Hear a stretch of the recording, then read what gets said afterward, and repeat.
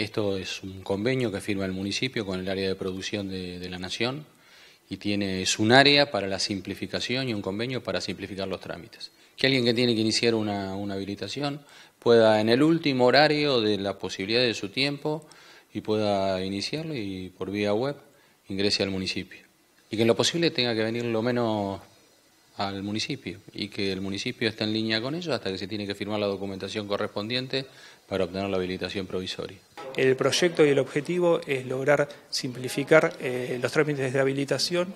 y, bueno, y que el vecino pueda llevar sus trámites desde una, desde una página web, desde su casa y hacer eh, la carga de información en cualquier momento. La intención es bajar los tiempos de atención, si bien hoy el trámite no es algo eh, muy complicado ni que demore mucho tiempo, bueno, la idea es acotar estos tiempos. Los principales beneficios para los vecinos de San Isidro tienen que ver con